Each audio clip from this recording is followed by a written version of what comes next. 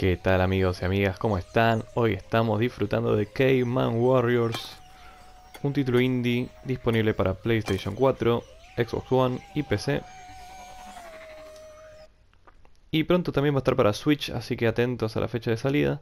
Es un beatmap en 2D bastante clásico en el que controlamos a unos cavernícolas. tenemos cuatro para elegir. A ver, tenemos a Jack, Brienne, Hola Game of Thrones, Guiño Guiño, Moe y Liliana, que por ahora me pareció la más copada, así que vamos a usarla. Vamos a mostrarles el primer nivel, que por ser el primero, bastante difícil la verdad. Obviamente tenía que ser un juego difícil, haciendo honor a esos clásicos de antaño. Capítulo 1 llegan los marcianos, secuestran a los pibes y tenemos que rescatarlos. Fin del resumen. Obviamente nunca tenemos una historia demasiado profunda en estos juegos. Muy bien. Ah, bien. Ya te arrancan diciendo esto que está bastante bueno.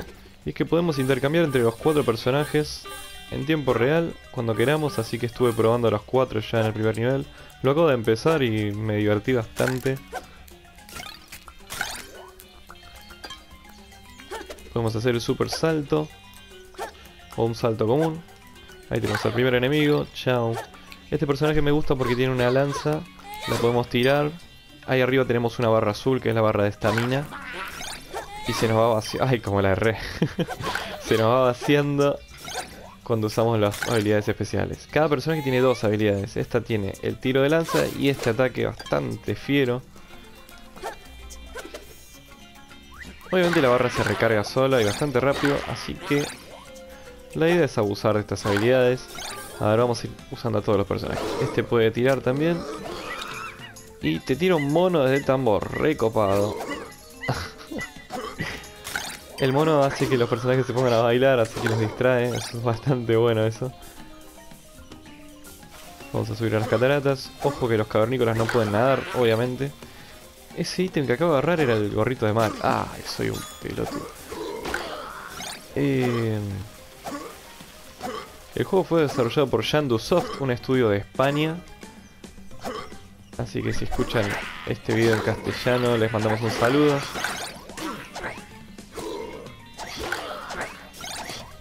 Ese personaje que tiene me hace acordar a esos enemigos del Mario bastante molestos. Tomá. Acá dice, podría utilizar mi lanza para escalar.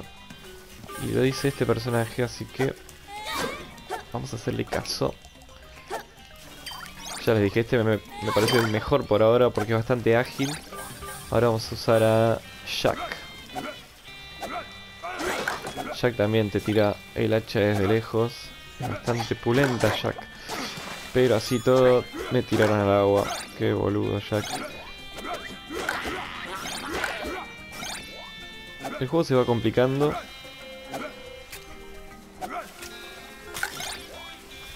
Y recién lo arranco, me esperan muchos niveles supongo. Bastantes voces, vamos a usar a Liliana otra vez. Ay no, el mono no. No me desperdicies ese mono, pobre. Lo más copado del juego, obviamente, es que tiene cooperativo para cuatro jugadores. Estoy esperando que un amigo venga a visitarme para que lo viciemos esto. Debe ser una fiesta de a 4, no me quiero imaginar las risas.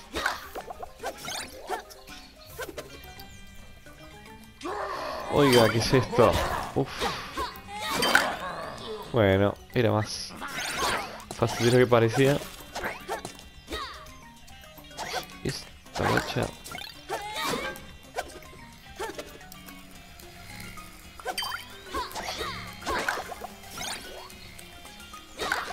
Ahí tenemos uno de los coleccionables. En los niveles hay tres de esos para agarrar.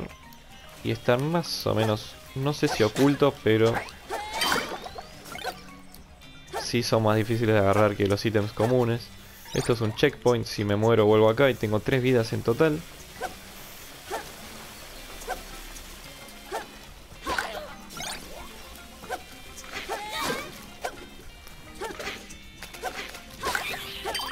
Vamos bien, ¿eh?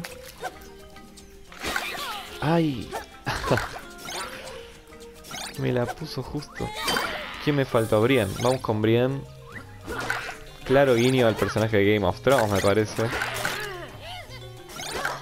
En la fotito... Ah, no, ahí mismo veo que tiene un dragoncito en el hombro, así que... Lo que no me gusta de este personaje es que, si bien se puede cubrir con una de sus habilidades especiales, igual está bueno, su ataque, su segundo ataque especial no es un ataque a distancia, sino de cerca. Lo cual puede servir para unos personajes, pero por ejemplo no puedo hacer esto con Brian. Además es un personaje bastante pesadito. Por lo que para las partes de plataformas tampoco me conviene. Me caí otra vez.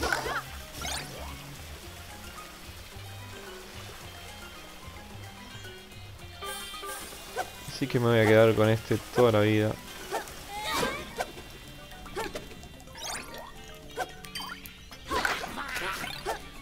Nos acercamos al final del nivel.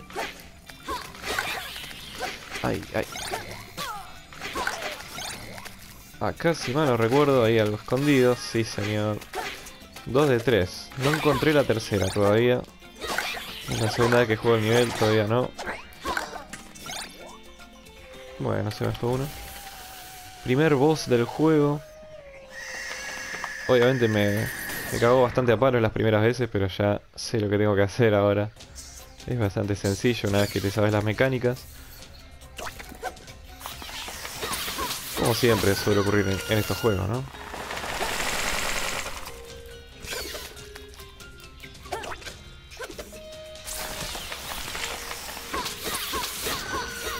Muy bien, repetimos eso una vez más y ya estaríamos ganando el boss. Ay, me colgué. Uy, me exalté.